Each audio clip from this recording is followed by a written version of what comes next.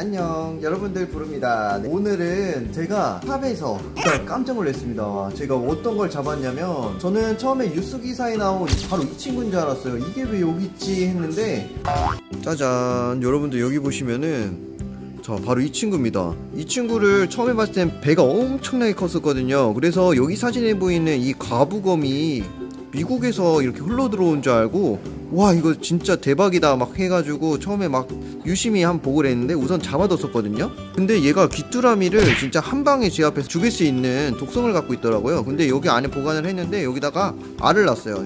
원기옥처럼 이렇게 큰 알을 낳았는데 와 우선은 우선 이 과부거미 종류 이름 정확하게는 모르겠지만 우선은 굉장히 놀라웠었습니다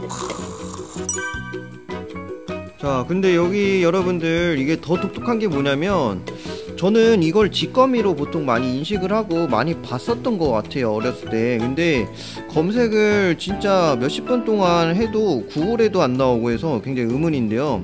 우선은 산란을 했습니다. 자 보통 알을 이 과부거미과 친구들은 알을 낳으면은 보통 300개에서 많으면 700개까지 여기 안에 알이 있어서 부화를 하면 우글우글우글 나온다고 하는데 우선은 독성이 세다고 하니까 조심하셔야 될 것 같고요. 우선은 먹이를 한번 귀뚜라미를 한번 넣어 볼게요. 거미줄이 있는데 한번 걸쳐 봐야겠어요.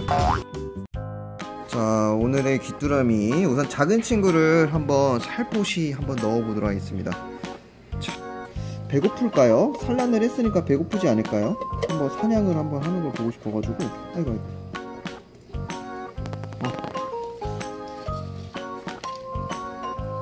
오! 오! 오, 뭐야? 오. 자, 여러분, 누차마자 반응을 보여요.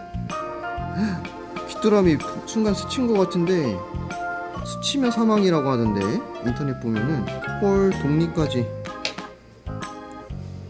와. 원래 배가 진짜 거짓말이 아니라, 이 알집처럼 엄청나게 컸었거든요. 알을 낳으면서 지금 배가 쪼그라든 거예요. 근데 지금 보시면 아시겠지만 거미줄을 내뿜으면서 지금 귀뚜라미를 감싸는 모습이에요 조금 있으면 고치가 되지 않을까요? 오. 아 근데 왜 검색해도 안 나오죠? 여러분들 아시는 분 있으면 좀 댓글로 좀 아시는 분 계시면 댓글로 좀 부탁드리고요 와 지금 독주입한다 와 독주입하는 거 보세요 이제 독주입을 하고 이제 유이 지금 기다리는 모습이죠 아 이제 사냥 완료했다 약간 이런 느낌인 것 같아요. 배가 여전히 크네. 근데 여러분들 여기 사진에 보이는 게 검은 가부거미가 있고 다음으로 붉은 등 가부거미라고 있는데 어쨌든 간에 그 두 가지가 대표적인 친구들이고요. 진짜 살짝 물려도 진짜 치명상을 입을 수 있는 독성을 갖고 있다니까 굉장히 무서운 친구들인데 어 이게 한국에도 이런 가부거미과들이 이렇게 잘 보이네요. 음, 전 어렸을 때 이거 직거미로 많이 봤던 것 같아요.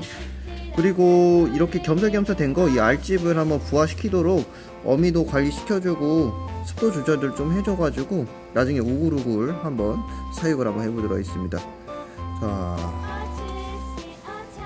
야, 오 지금 맛있는 식사를 하고 있어요. 지금 귀뚜라미를 완전 꽁꽁 매가지고 자 먹고 있네요. 자 그런데 여러분들 이 친구가 여기 사진에 보이는 것처럼 이 독성이 굉장히 강하기 때문에 작은 새끼뱀이나 좀 약한 뱀들을 이런 식으로 사냥을 해서 잡아먹기도 한다는데 엄청 대단하지 않나요? 자 우선은 대구에서 발견이 됐다고 하던 그 가부거미인 줄 알고 처음에 깜짝 놀랐지만 좀 다른 생김새를 갖고 있네요 자, 자 어쨌거나 이 종류를 아시는 분 있으면 댓글로 써주시고 혹시 외래종일 수도 있으니까 여러분들 꼭 참여해서 좀 도와주세요 자 해서 오늘 영상은 여기까지 할게요. 다음에 봐요. 안녕. 요시